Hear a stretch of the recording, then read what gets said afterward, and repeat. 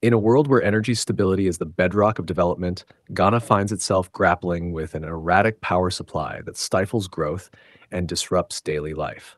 However, a beacon of hope emerges from the realm of nuclear energy, championed by Dr. Stephen Yamoah, the Executive Director of Nuclear Power Ghana, NPG.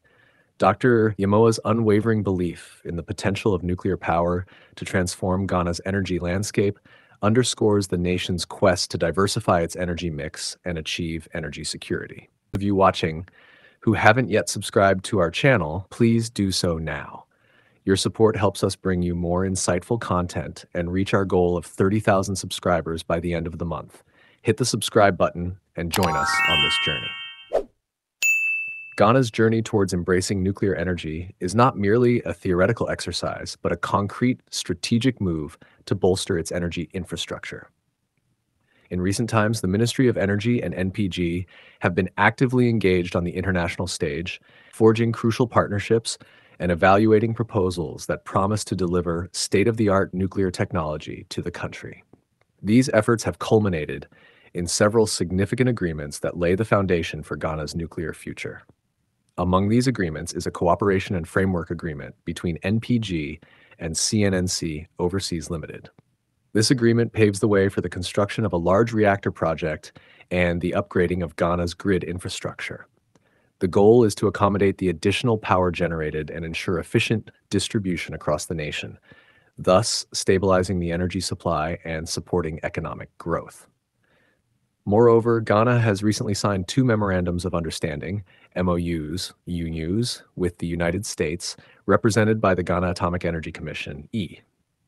These MOUs include the establishment of a regional welding certification program and a contractual agreement for the provision of a NuScale Exploration E2 center at GAEC.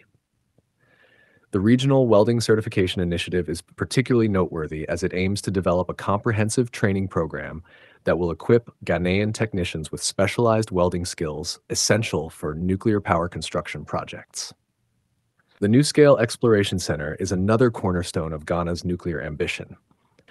Uh, this simulator facility replicates NuScale Power's small modular reactor SMR control room, providing hands on training for future nuclear operators and engineers. It will serve as a regional hub for nuclear education and training, supporting safe and secure civil nuclear deployments across Africa. These initiatives underscore the trust and confidence international partners have in Ghana's nuclear power efforts, highlighting the strong relationships and mutual willingness to see the project through to fruition. Dr. Yamoah stresses the indispensable role of the media in this transformative journey. The media's involvement is critical in ensuring that the public embraces nuclear power as a clean, secure, safe, and reliable energy source. Over the years, uh, the media has been instrumental in providing public education and awareness, demystifying misconceptions, and fostering a well informed populace. By delivering transparent and factual information about the project's progress, safety measures, and regulatory frameworks, the media builds public trust and facilitates informed discussions on nuclear power. At a recent three day workshop for journalists in Accra, themed Media Support for the Nuclear Power Project The Journey So Far, Dr. Yamoah highlighted the importance of media collaboration.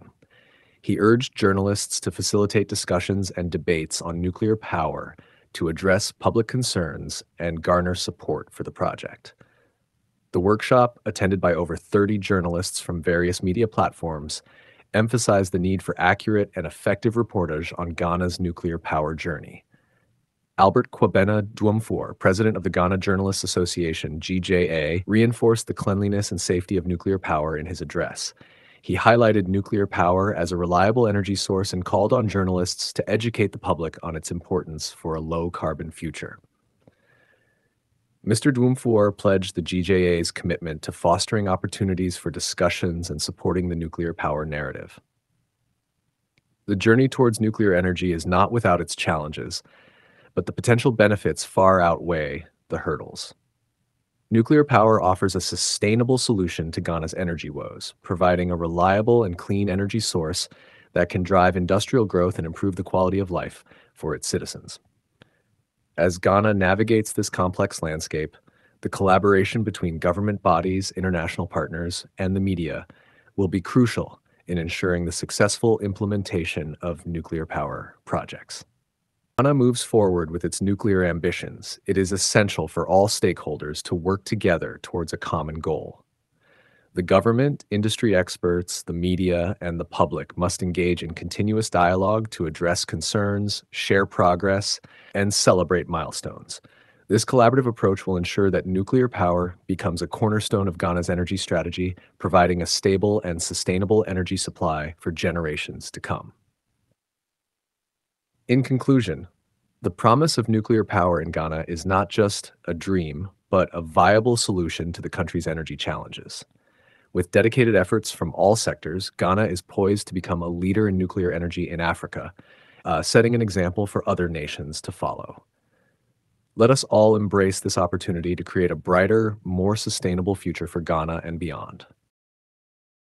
If today is your first time watching this channel or you are returning to this channel for the exciting content, please subscribe to the channel for more educative and developmental projects across Ghana and Africa as a whole. Do you want to know about the state of a project in Africa? Then make sure to like and comment the name of the project you would like us to talk about and its current state.